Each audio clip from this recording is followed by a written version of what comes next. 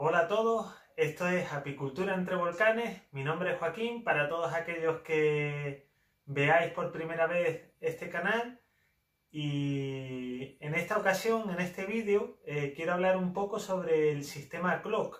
El sistema Clock es un sistema que mediante un tablero, un tablero que se llama Clock, eh, mm, nos permite hacer una cría de reinas en la parte superior de una colmena eh, no huérfana. El tablero clock, eh, como podéis ver, simplemente es un marco de madera de unos 2 centímetros de, grosor y con las medidas de, una colmena estándar, en este caso en Lastron. ¿En qué consiste este tablero? Simplemente es un marco de madera que tiene por una cara un excluidor de reinas que puede ser metálico o de plástico y por la otra cara una bandeja eh, separadora.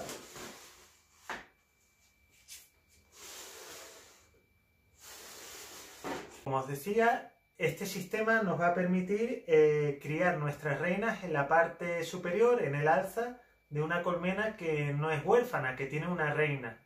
Eh, ¿Cómo lo vamos a conseguir? Lo vamos a conseguir gracias a, este tablero que nos permite eh, cortar con ese separador las feromonas de esa reina y con un excluidor de reina que no va a permitir que la reina suba y también impregne esas feromonas o nos mate las larvas una vez, una vez se hayan aceptado los traslarves.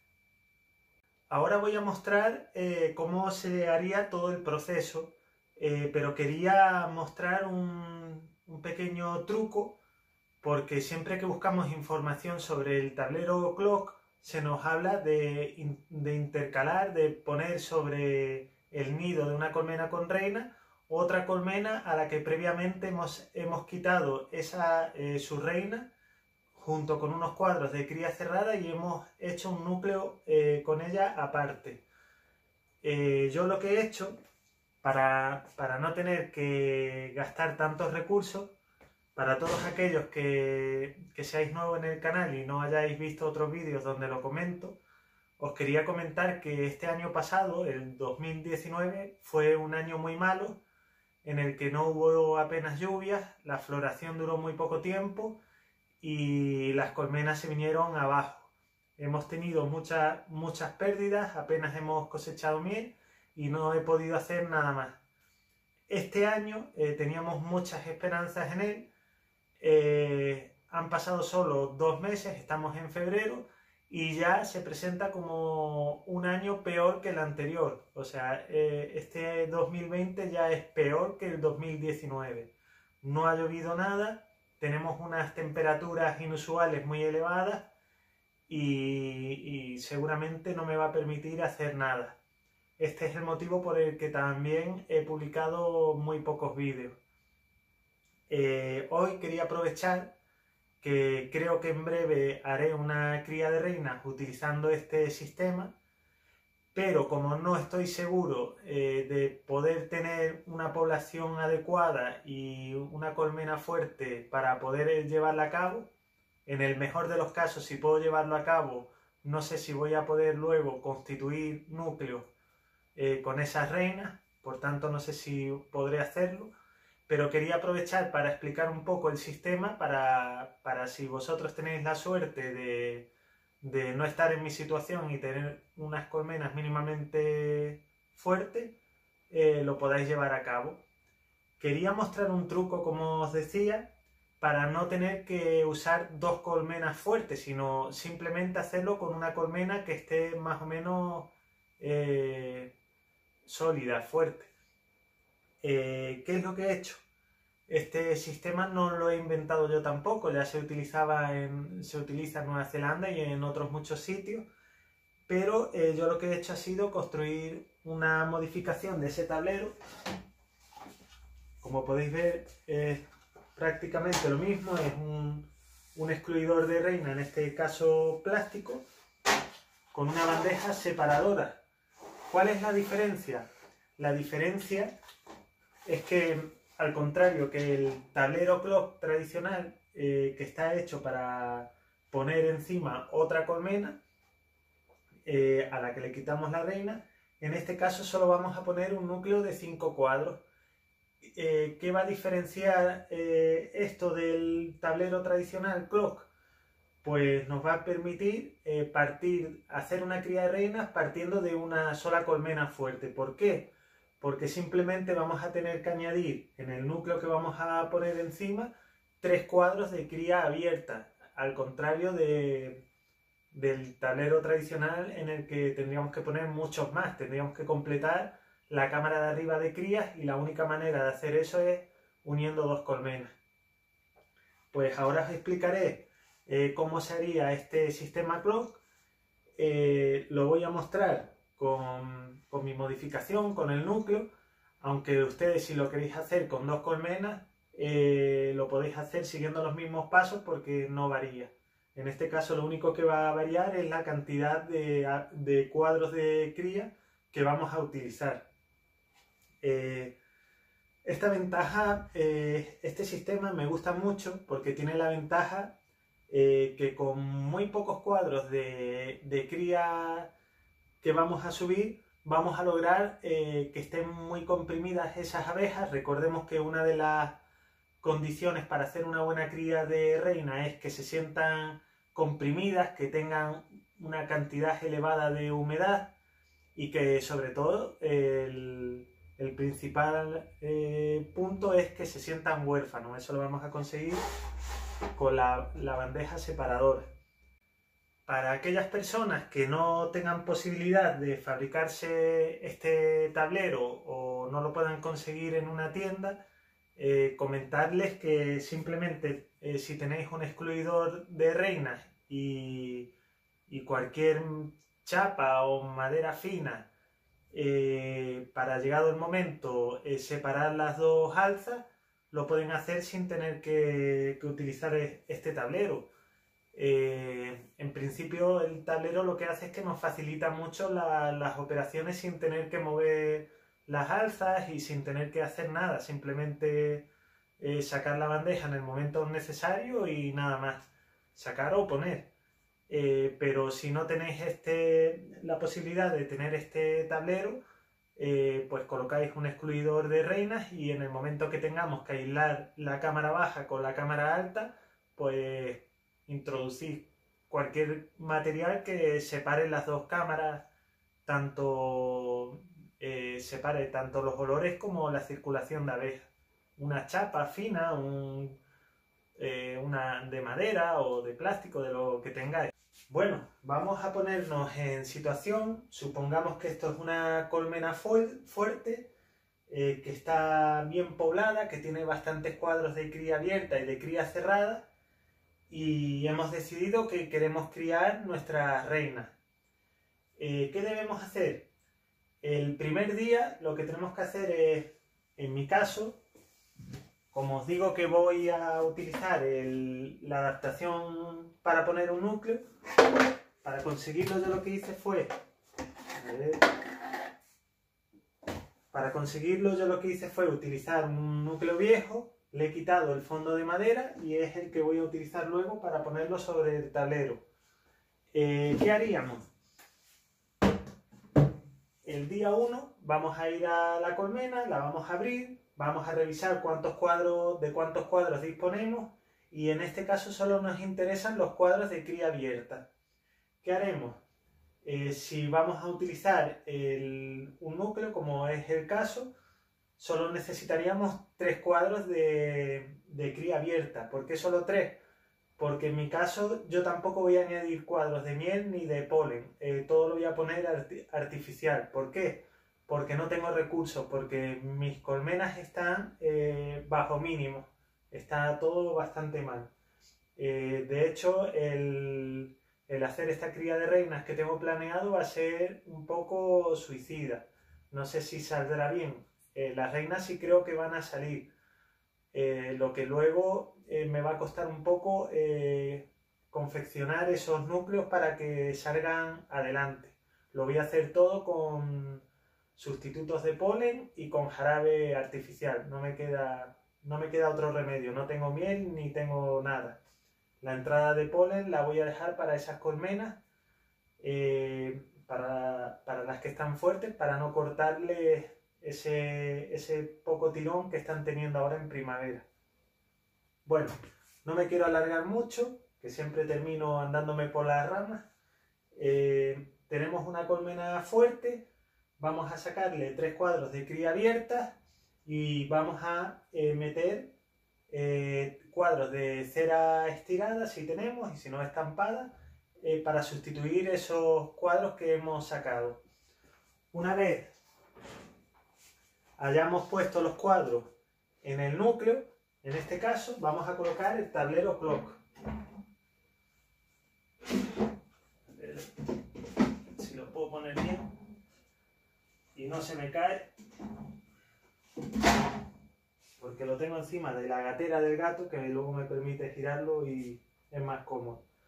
Ponemos el sistema clock, retiramos la, la bandeja, la bandeja separadora y ponemos nuestro núcleo con la cría abierta arriba.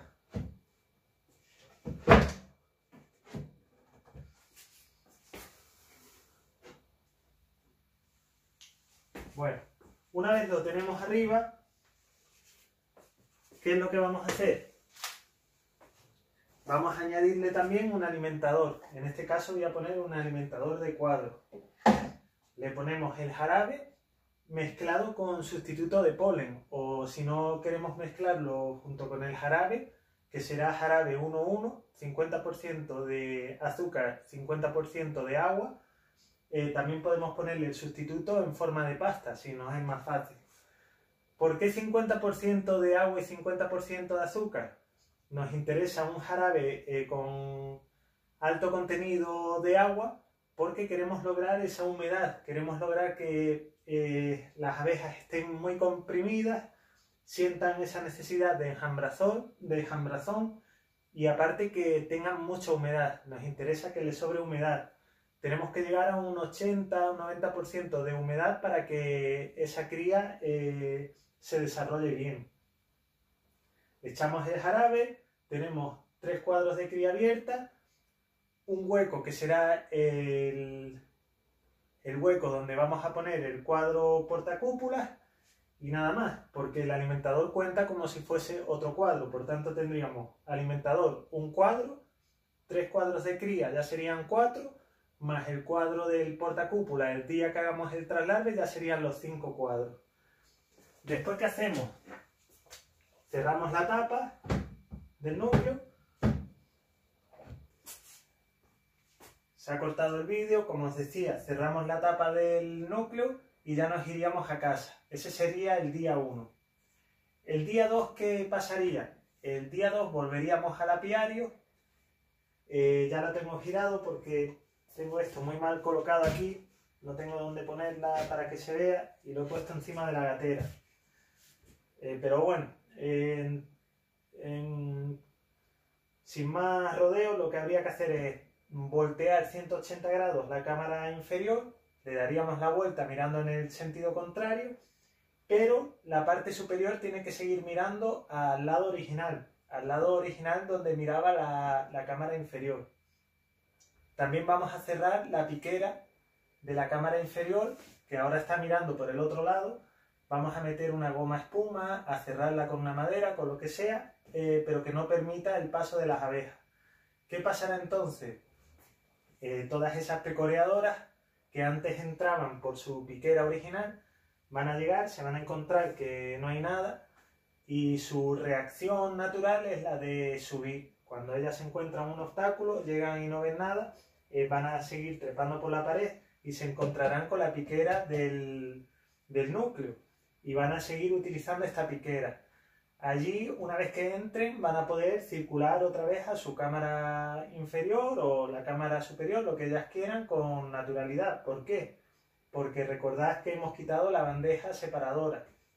Eh, ellas van a seguir moviéndose eh, con normalidad y pueden acceder a todas las partes, tanto inferior como superior. Eh, ya veréis que este, que este movimiento luego nos, va a servir, nos va a dar un punto más de, refuerzo. Pero eso lo voy a explicar en el siguiente paso. Bueno, hemos terminado con el día 2. Eh, ahora, ¿qué pasaría? ¿Qué tenemos que hacer? Ahora vamos a esperar a que toda la cría abierta que hemos puesto en la parte superior se opercula, está cerrada eh, y no tiene posibilidad eh, de, de, ser futuras reinas, que no haya ni una larva que tenga posibilidad de, hacerse reina. Por tanto, debemos esperar a que toda esa cría, por seguridad, se cierre. Eh, recalcar que, por ejemplo, la abeja negra es, muy delicada para este tipo de proceso y si queremos que la cría de reina se lleve a cabo de forma positiva, tenemos que esperar como mínimo 8 días a que todo esté cerrado. De, lo contrario, eh, ellas van a, nos van a dejar de lado ese traslarve, no van a aceptar ninguna cúpula de las que hagamos. Eh, con, otras, eh, con otras razas de abejas puede ser que con menos días ya, ya lo acepten. Entre medio de esos días, que suelen ser entre 6, 8 días más o menos, ¿qué debemos hacer? tenemos que tener mucho cuidado que esos cuadros eh, no tengan realeras. Si, si, las abejas nodrizas han hecho sus propias realeras, debemos destruirlas. Eh, no dejar ninguna porque si nace una reina, eh, mientras tanto no, van a aceptar nuestras cúpulas. Bueno, supongamos que todo ha ido bien, no hay realeras o si las hubo las hemos detectado y las hemos, las hemos destruido, eh, ya toda la cría está cerrada, llega el momento de meter nuestro cuadro por, portacúpulas eh, para que se familiarice. Cuando hagamos esto, el cuadro no lo vamos a meter en seco, lo vamos a impregnar de alguna manera con un jarabe para que ellas lo liben y, lo impregnen con unas feromonas que ellas utilizan para familiarizarse con la pieza. Esto es muy importante para que tengamos una buena aceptación el día del traslarve, que será al día siguiente. Eh, supongamos que estamos en el día 8. Pues día 8, eh, por seguridad, se podría hacer antes, pero por seguridad ponle día 8. Metemos el cuadro porta cúpula y será el momento de separar eh, las dos cámaras. ver si me entra y no se tuerce. Hay veces que se dobla y le cuesta un poquito entrar.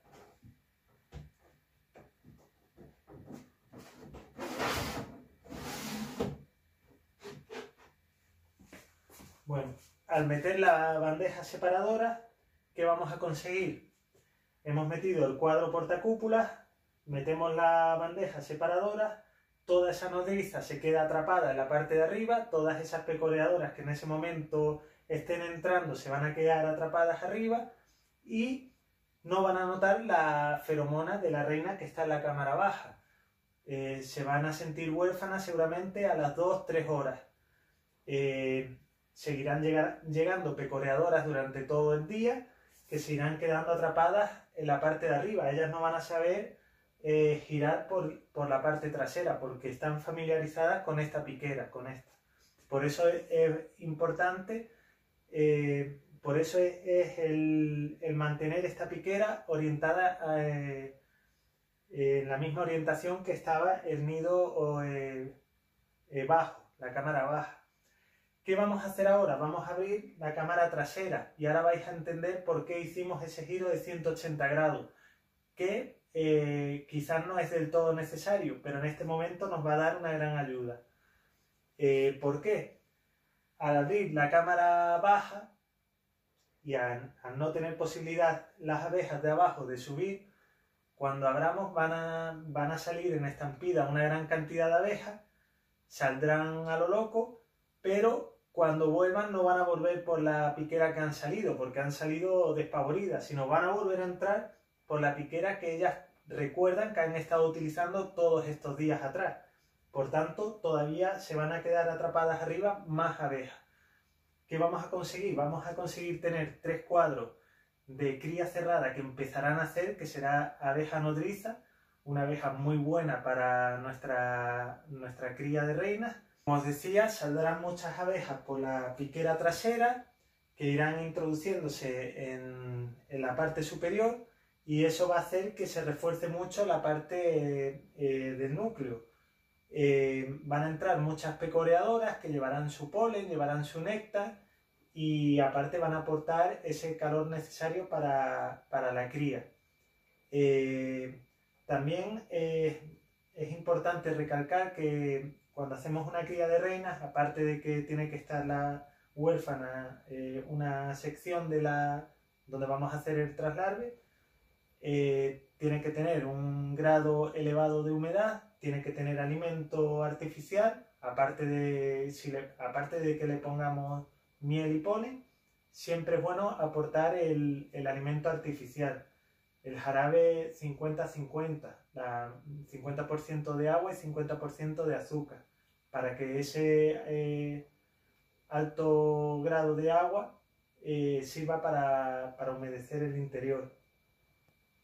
Pues bueno, eh, va a llegar un refuerzo de abeja pecoreadora y, ya no haríamos nada más. Nos iríamos a casa, dejamos ese cuadro portacúpulas que se familiariza ahí dentro y al día siguiente volvemos, lo extraemos, cogemos de la parte inferior de la colmena un cuadro de cría abierta de menos de tres días, que es de donde vamos a sacar la larva para hacer el traslarve lo podemos coger de la parte inferior o de otra colmena que tengamos cerca que a lo mejor nos es más cómodo. Ya esto es cuestión de gusto. Hacemos el traslarve y devolvemos el cuadro de cría abierta a su lugar de origen y el cuadro portacúpula lo colocamos en el núcleo. Eh, es importante colocarlo cerca del alimentador para que cuando esa abeja vaya a alimentarse se encuentre con las cúpulas y de paso eh, las alimente y en la parte superior del listón donde van las cúpulas o, del marco, eh, si disponemos de pasta proteica, pues se la ponemos también. Eh, todo el alimento que esté aquí arriba para que la, la, abeja nodriza que suba o la pecoreadora, todo lo que suba, alimentarse se tenga que topar con la larva. Esto va a ayudarnos a que haya mayor grado de aceptación. Hemos hecho el traslarve y nos iríamos a casa. Al día siguiente volveríamos. ¿Y qué vamos a hacer? Vamos a revisar ese listón, vamos a ver si nuestras cúpulas están aceptadas y en caso de que hayan sido aceptadas, vamos a retirar la bandeja separadora y, otra vez se va a restablecer la circulación eh, de abejas de arriba abajo y de abajo arriba. Eh, os preguntaréis si una vez que retiramos la bandeja separadora no van a matar las cúpulas al notar la feromona de la reina. Eh, la respuesta es que no. Ellas van a pensar que, ahí hay alguna necesidad de enjambrar y que esas realeras se han hecho por algo. La única que puede quedarse un poquito mosqueada es la reina que se encuentra en la parte inferior, pero no va a tener acceso a la parte superior porque hay un excluidor de reina. Así que no hay ningún problema por eso. Y vamos a sacar un cuadro de cría abierta que lo vamos a colocar al lado del listón donde hemos hecho el traslarve y, luego eh, sustituiremos ese cuadro de cría abierta por, eh, uno de arriba que ya esté eh, vacío, que lo colocaríamos otra vez abajo. Y esto sería todo. Ahora ya nada más que tendríamos que esperar nueve días más. Cuando pasen esos nueve días, nueve días a partir de que hayamos hecho el injerto de ese traslarve, ya las realeras estarán cerradas, ya estarán desarrolladas, las sacaríamos y nos las llevaríamos a sus núcleos definitivos, núcleos baby o para sustituir reinas, lo que sea. Y esto sería todo. A partir de aquí eh, siempre se repetiría el proceso.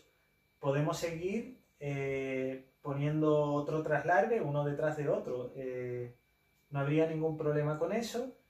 Cuando notemos que hay menos cantidad de nodriza, podemos seguir subiendo cuadros de cría abierta y bajando los cuadros que ya estén vacíos a la parte inferior para sustituir. Pues nada, eso sería todo. Eh, así a priori parece que es una lata, que es un sistema muy complicado, pero es un sistema muy bueno porque no tenemos que andar sacudiendo abejas de un lado a otro y no se debilita la colmena madre porque está alimentada, porque cuando terminemos de sacar esa realera las abejas se comunicarán normalmente eh, con la parte de, abajo, van a estar comunicadas, no hay pérdida ninguna de abeja y por tanto es un método fácil una vez que ya eh, le cogemos el truco, porque siempre va a ser la misma dinámica. Eh, terminamos de hacer el, terminamos de sacar esas realeras y podemos volver a introducir realeras.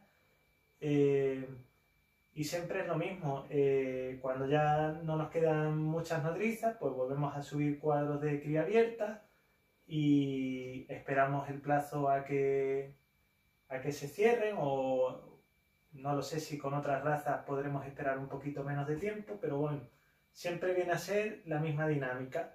Eh, tampoco es necesario hacer ese giro de 180 grados, es recomendable porque en el momento que abrimos detrás, como habéis visto, la abeja volvería y va a reforzar mucho más esa parte, pero, pero lo mismo da, eh, si no lo hacemos también van a, van a entrar igual y va a funcionar igual.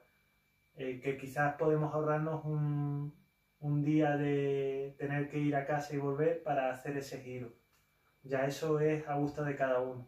La cosa es ir experimentando y, bueno, en el, tema de la cría de reinas yo creo que yo no soy ningún experto, pero he hecho ya mis experimentos y creo que cumpliendo los factores obligatorios como son la orfandad y la, alimentación, eh, el aporte de abeja nodriza y poco más, ya podemos hacer muchas variantes y siempre va a salir bien. No es tan difícil criar esa reina. Yo creo que es más difícil conseguir reinas de calidad. Reinas siempre vamos a conseguir, las hacen solas. Eh, conseguimos reinas incluso haciendo las cosas mal y fallando, porque es su, es su supervivencia. Ellas eh, dependen de ello y lo van a hacer como sea. Pero una cosa es tener cualquier tipo de abeja reina y otra cosa ya es sacar nuestras reinas de calidad. Pues nada, espero que os guste, que, os sirva este método, que lo podáis poner en práctica y voy a ver si yo a lo largo de, este mes puedo hacerlo también y grabarlo con abejas. Como os digo, no es, no es muy seguro porque las condiciones no son muy buenas y, este año me gustaría, aunque sea, recolectar un poco de miel. No quiero debilitar mucho las colmenas e intentar cosechar algo.